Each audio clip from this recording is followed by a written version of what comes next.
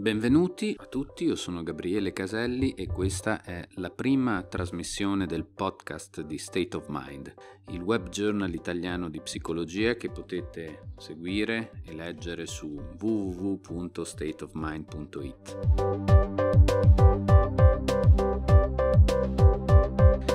State of Mind è un giornale online di psicologia, psicoterapia e neuroscienze, nato nel 2011 con lo scopo di portare eh, discussioni, innovazioni inerenti alla scienza psicologica nel web. Questo sia per specialisti e tecnici del settore che per qualsiasi curioso interessato a dare uno sguardo psicologico sul mondo.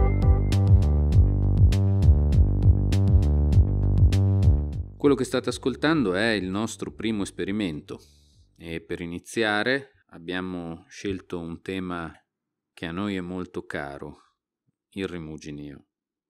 L'idea è nata da una nostra recente pubblicazione nel marzo 2017, infatti è uscito un libro scritto dal sottoscritto assieme a Giovanni Maria Ruggero e Sandra Sassaroli, edito da Raffaello Cortina, editore, dal titolo proprio Rimuginio, Teoria e terapia del pensiero ripetitivo.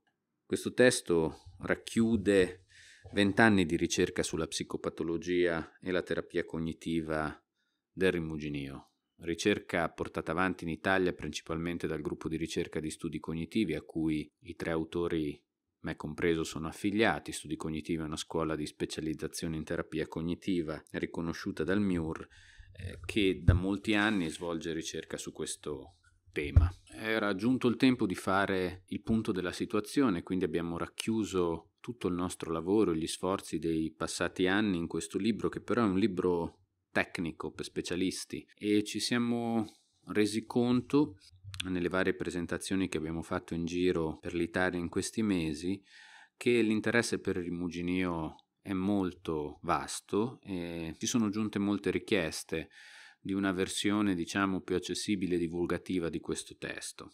Così abbiamo colto la palla al balzo, unito due nostri interessi, quello per il rimuginio e quello per questa esperienza di trasmissione eh, via podcast e abbiamo pianificato questa serie di trasmissioni che raccontano che cos'è, quali sono le conseguenze, come si gestisce la propensione a rimuginare sui propri problemi. La nostra speranza è che questa trasmissione possa essere utile e interessante per coloro che vi dedicheranno del tempo e anche un'esperienza curiosa e divertente per me e per noi che siamo qui a chiacchierare di questo tema caro. Quindi bene, direi che possiamo iniziare.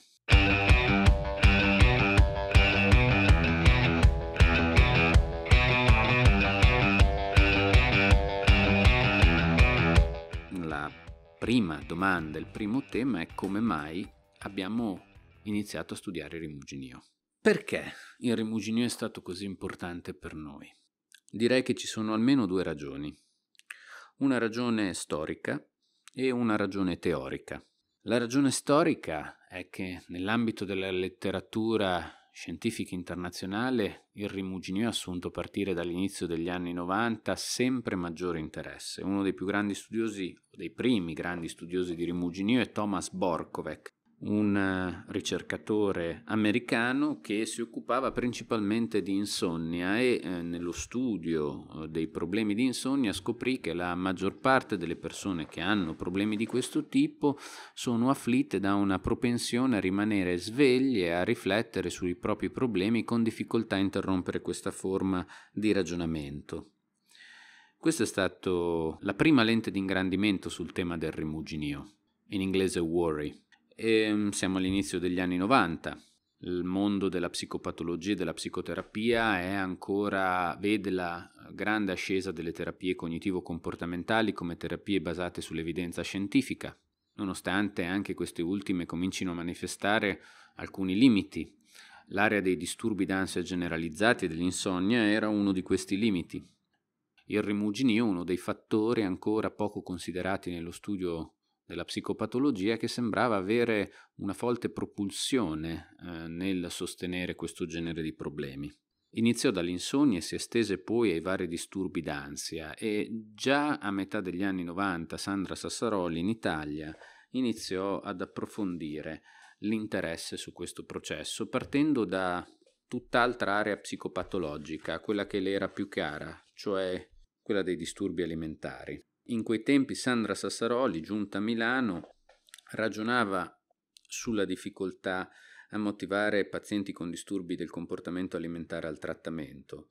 Era evidente che la motivazione per loro fosse una sorta di problema cruciale e che questa motivazione a cambiare fosse spesso interrotta da uh, un costante impegno della mente in pensieri angosciosi sul controllo e sull'alimentazione.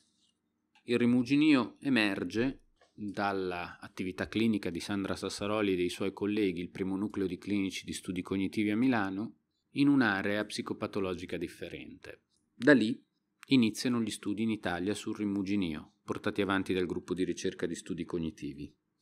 Da lì emerge anche un'idea che diventerà gradualmente sempre più dominante negli anni successivi, e cioè quella per cui il rimuginio fosse una sorta di processo transdiagnostico eh, nucleare, e cioè che il suo impatto in qualche modo attraversasse in senso negativo naturalmente una grande varietà di disturbi psicologici, non solo limitata all'insonnia, non solo limitata forse ai disturbi d'ansia, ma estesa quantomeno anche ai disturbi del comportamento alimentare e poi negli anni successivi si estenderà a molti altri disturbi psicopatologici.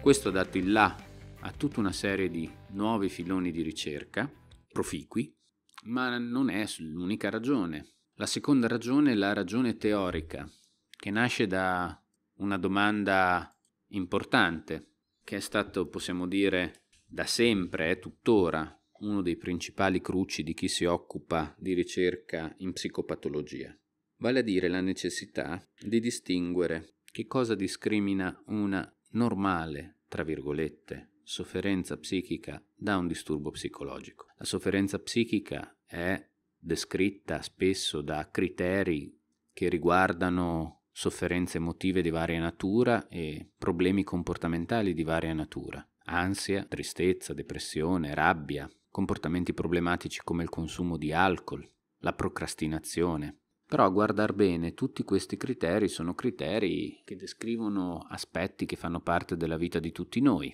In fondo la salute mentale non può essere caratterizzata da una vita priva di emozioni negative. Le emozioni negative fanno parte dell'essere degli esseri umani. Questo è un cruccio importante perché il rischio che si corre è quello di dare l'idea dell'uomo sano come di una macchina che non prova mai emozioni negative, mentre oramai decine e decine di anni di ricerca ci mostrano che anche le emozioni più fastidiose hanno un loro lato funzionale. Eh, la paura ci permette di essere cauti, ci permette di eh, affrontare il pericolo con una risposta di attacco-fuga, sono delle risposte fisiologiche eh, sostenute dall'evoluzione degli organismi e finalizzate sostanzialmente a proteggerle, tutte ha un senso, non esistono per caso e quindi noi psicologi, noi ricercatori abbiamo il dovere di poter discriminare che cos'è una naturale paura, ansia, da un disturbo d'ansia. Questa domanda è tuttora molto dibattuta.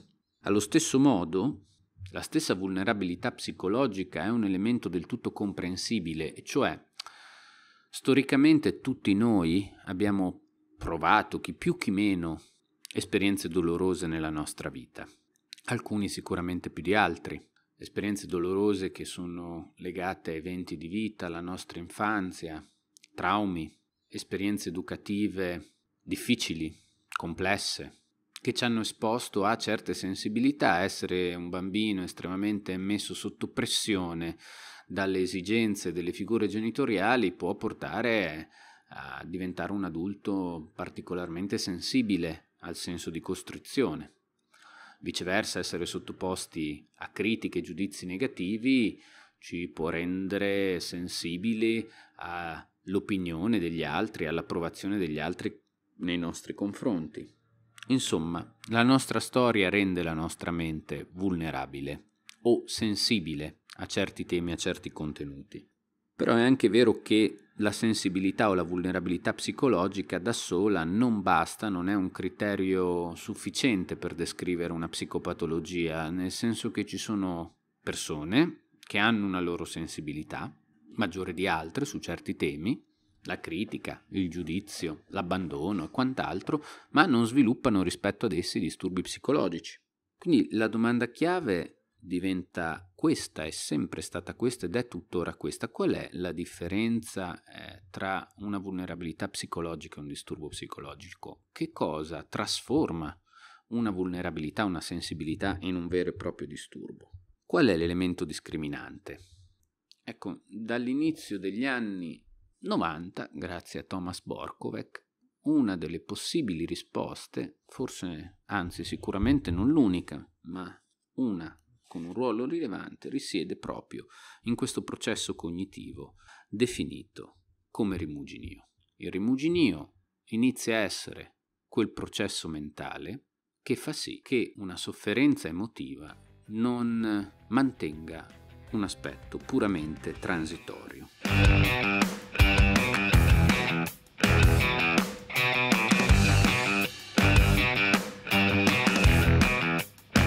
Che cosa è il rimuginio.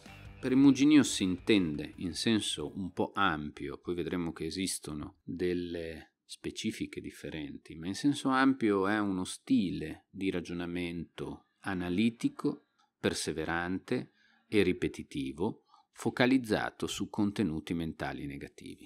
In particolare il rimuginio studiato da Borkovec o Worry o rimuginio ansioso in Italia è caratterizzato da una tendenza a reagire ad alcuni dubbi sul futuro cercando di immaginare quali scenari negativi potrebbero occorrere. In qualche misura è il tentativo di rispondere a una serie di domande se capitasse qualcosa di brutto che cosa succederebbe? Lo scopo di chi rimugine, di chi si perde in queste riflessioni è cercare di prevedere il negativo e di prevenirlo. Quindi è uno sforzo comprensibile da questo punto di vista.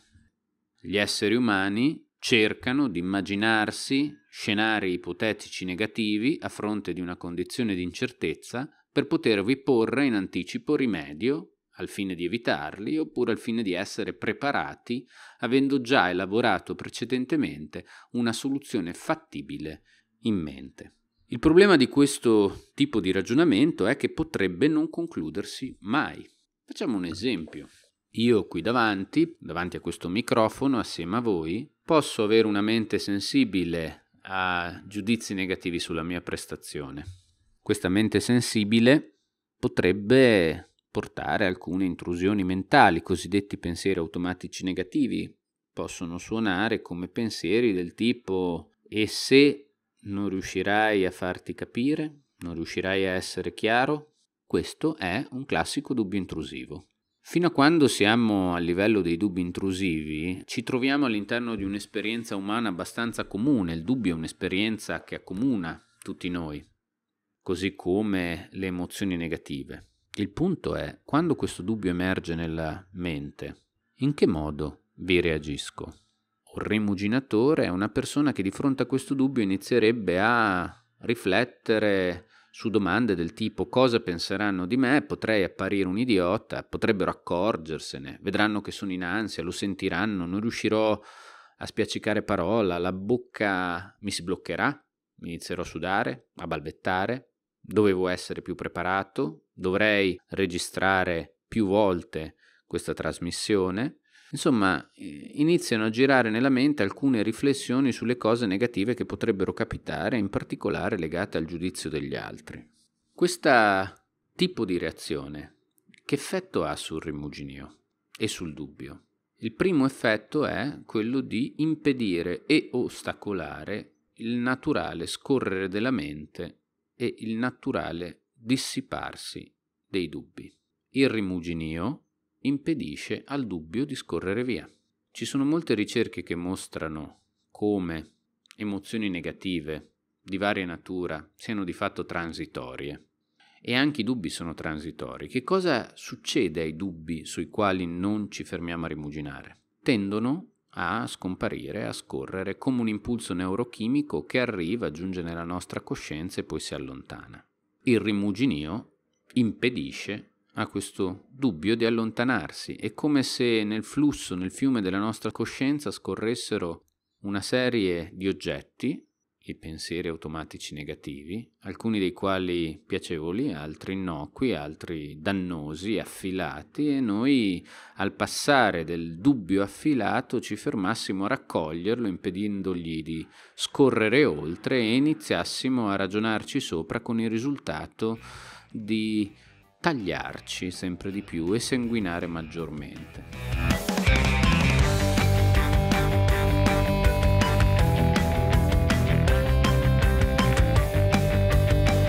Nel nostro libro c'è un esempio di rimuginio ansioso che ora vi vado a leggere allo scopo di descrivere con maggior dettaglio quali sono le caratteristiche di questo stile di pensiero. Questo è un estratto del racconto di una paziente, ovviamente vagamente camuffato, che chiameremo Lucia. E Lucia alla sera, quando rientra a casa dal lavoro, mentre guida, in un lungo percorso immersa nel traffico, anziché rilassarsi, riposare, ascoltare un po' di musica, si perde nei pensieri e nelle preoccupazioni legate al suo lavoro. E se la mia collega non ha controllato la lista? Era compito suo, ma poi potrebbero esserci dei problemi. Deve fare solo due cose, ma è tanto sbadata che potrebbe essersene dimenticata. Dovrei occuparmene io anche di quelle per esserne sicura, solo che non posso occuparmi di tutto. Finisce che mi ammalo se vado avanti così. Però se si dimentica, come facciamo? Domani potrei chiederglielo, o beh, potrei anche mandarle un messaggio adesso quando arrivo a casa, ma eh, per come è fatta finisce che mi dice di stare tranquilla solo per farmi tacere. E poi si sente controllata da me. Questo perché non capisce l'importanza della cosa, non capisce che lo faccio solo per evitare degli errori. Dovrei lasciar perdere, però se lei se ne frega come al solito e vengono degli errori, finisce che sono io la responsabile, con tutte le aspettative che hanno i capi, l'importanza di questo evento, tutto quello che hanno investito, le raccomandazioni. È sempre così. Alla fine dovrei decidermi solo a svolgere il mio ruolo e fare fare a loro quello che gli va. Però, insomma, in fondo io sono il gestore e quindi metterle delle pressioni è anche parte del mio ruolo.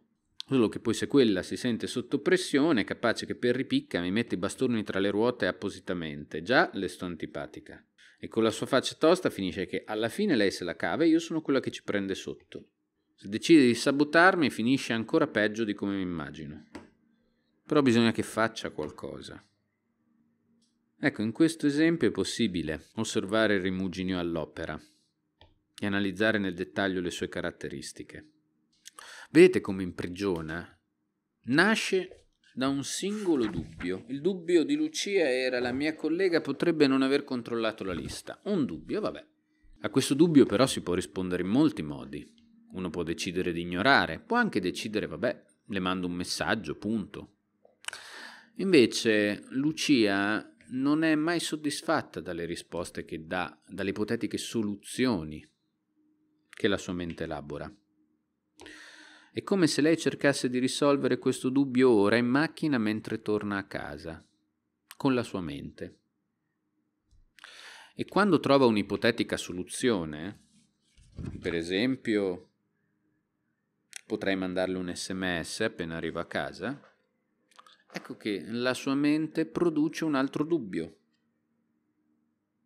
Per come è fatta lei, finisce che mi dice di stare tranquilla solo per farmi tacere. Ogni rassicurazione, esito del rimuginio non è altro che l'anticamera di un successivo dubbio che dà il là a un ulteriore processo di rimuginio. Questo è il modo in cui le persone rimangono avvinghiate a dubbi negativi sul futuro anche perché i dubbi negativi sul futuro non possono essere risolti perché non esistono.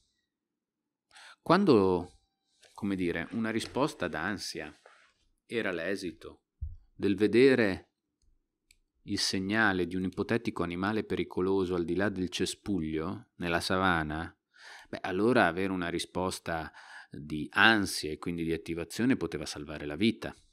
Ed era anche sensato imparare che se un cespuglio muove, si muove è possibile che ci sia un predatore nascosto al suo interno, potenzialmente può essere utile per la sopravvivenza e quindi al successivo cespuglio che si muove eh, l'animale ha preso a imparare ansia e preparare una risposta di attacco di fuga. Però lì è diverso, lì è qualcosa che si vede, che c'è nel concreto, che è davanti agli occhi, che si basa sui sensi.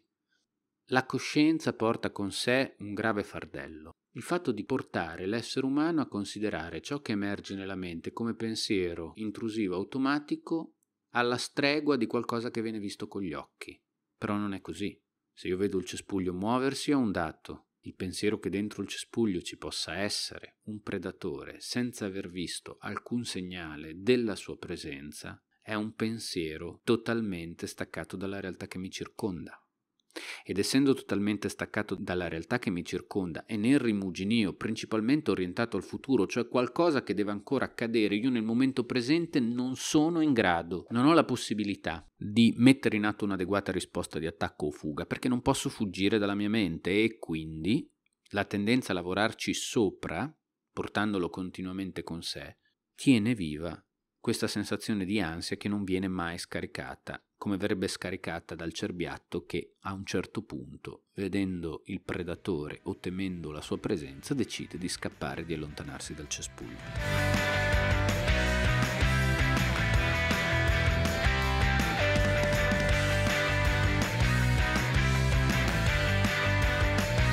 Questo esempio che ho appena letto descrive anche bene quali sono le caratteristiche principali del rimuginio. In questo senso parliamo del rimuginio ansioso. Eh? Sappiamo che il rimuginio ha diverse facce, ma le vedremo nel dettaglio in una prossima trasmissione. Il rimuginio è ripetitivo, negativo, è orientato al futuro, è astratto, prevalentemente verbale, è una forma di ragionamento molto impegnativa e costosa per il sistema cognitivo dell'individuo e quindi ha dei costi ingenti, anche se comprensibilmente viene messo in atto come forma di protezione. Facciamo il punto.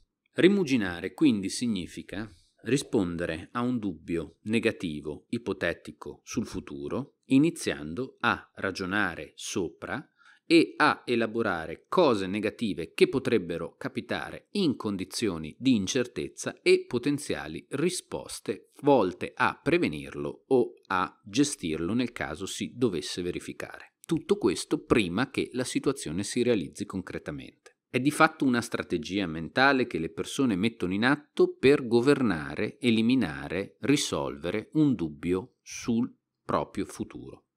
È comprensibile che le persone vogliano cercare di prevedere e prevenire gli scenari negativi, ma visto che l'oggetto è qualcosa che capiterà nel futuro, nel presente non si è in grado di fare nulla concretamente per eliminare un dubbio, se non aspettare. E quindi quello che spesso accade è che le persone che consumano energie e risorse nel rimuginio pagano un costo in termini emotivi. E questa strategia di gestione di controllo sul futuro può essere ormai tanto abitudinaria o consolidata che la persona potrebbe considerarla una parte di se stessa, della propria identità o comunque qualcosa ormai fuori dal proprio controllo. Non riesco a smettere di rimuginare. Anche su questo punto parleremo a fondo nelle prossime trasmissioni. Ma ora scendiamo un attimo nel dettaglio per capire quali sono concretamente le conseguenze di questa forma di rimuginio ansioso.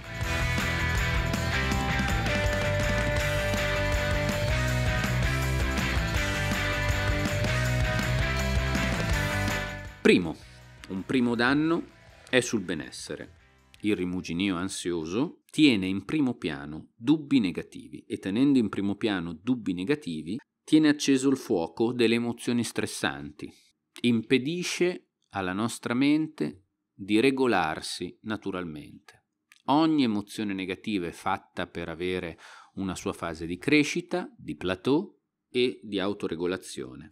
Noi siamo fatti per essere a un certo punto distratti dal mondo che ci circonda e in qualche misura autoregolare i nostri stati interni. Nessuna emozione negativa dura a lungo se noi non facciamo qualcosa che la tiene viva. Il rimuginio è una di queste cose che la tengono viva. ci tiene concentrati e chiusi su pensieri negativi. Nel breve termine questo significa sofferenza emotiva, una sofferenza che quindi è più lunga, più intensa, più frequente di quella che normalmente occorrerebbe in quelle situazioni. Ed è questa la linea discriminante tra un'ansia, tra virgolette, non patologica per quanto negativa, cioè l'ansia che emerge se abbiamo un dubbio, se ci troviamo in una condizione di incertezza, da un'ansia, di nuovo tra virgolette, sporca, caratterizzata e fomentata da una tendenza a rimuginare su quel dubbio il danno nell'immediato, ma nel lungo termine rimanere costantemente in condizioni di stress senza la possibilità di esercitare un'efficace risposta di attacco o fuga produce delle sindromi legate allo stress cronico, dannose anche per la salute dell'individuo. Tensione muscolare, insonnia, cefalee, dolore cronico, spossatezza e tutto ciò che noi normalmente descriviamo come sintomi quando ci sentiamo molto stressati per troppo tempo. Quindi il rimuginio è un martello che distrugge il nostro benessere psicologico, ma anche il nostro benessere fisico. Non solo, danneggia anche la nostra prestazione. Una prestazione interpersonale sicuramente perché essendo così stressati siamo anche irritabili, più inclini a discutere ma anche una prestazione cognitiva al lavoro, perché il rimuginio è un'operazione complessa, se noi continuiamo a rimuginare su ciò che di negativo può capitare è come se io cercassi di descrivere in modo chiaro il rimuginio a voi, continuando contemporaneamente, parallelamente a rimuginare su come la mia prestazione potrebbe essere scadente. Sicuramente svolgere due compiti cognitivi contemporaneamente danneggia l'efficacia dell'uno e dell'altro.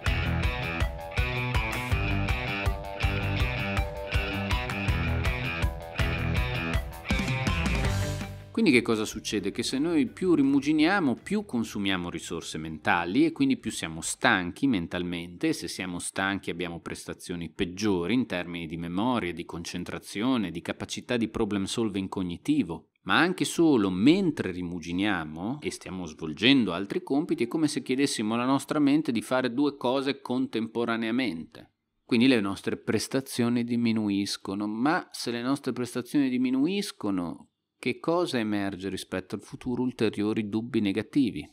Non riuscirò più a portare avanti il mio lavoro come un tempo ed ecco un nuovo dubbio ed ecco un nuovo oggetto per il rimuginio. E quindi non solo è un danno per le nostre prestazioni, ma in quanto danno per le nostre prestazioni diventa anche l'alimentatore di futuri dubbi sulle conseguenze negative del rimuginio e del nostro calo prestazionale che danno origine a nuovo stress. Si tratta così anche di un rischio importante che caratterizza il cosiddetto disturbo d'ansia generalizzata, la tendenza a rimuginare sul rimuginio, la tendenza a iniziare a rimuginare su il fatto che il rimuginio o stare a pensare troppo alle cose rischia di distruggere la mia vita, di distruggere le mie relazioni, di danneggiare il mio futuro professionale.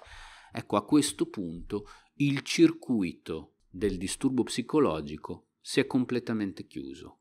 Le persone senza rendersene conto iniziano a cercare di rimuginare di più per risolvere i problemi che lo stesso rimuginio contribuisce a mantenere o a incrementare. Si è instaurato un disturbo d'ansia, fomentato anche dal fatto che a questo punto le persone percepiscono questa tendenza a rimuginare come qualcosa di pericoloso e contemporaneamente di incontrollabile, chiuse nei loro pensieri.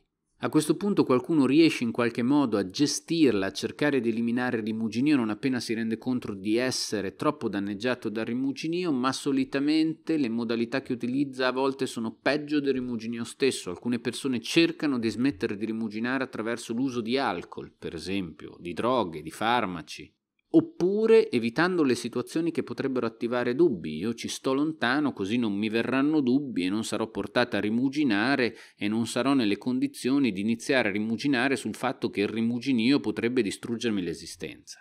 Ma ecco che l'uso di alcol, piuttosto che l'evitamento delle situazioni, danneggiano esse stesse la vita. L'alcol crea tutta una serie di problemi secondari, per esempio, sono abbastanza noti. L'evitamento è come dare al rimuginio partita vinta. Limitiamo la nostra stessa esistenza e quindi apriamo le porte poi a una futura insoddisfazione per una presente tranquillità.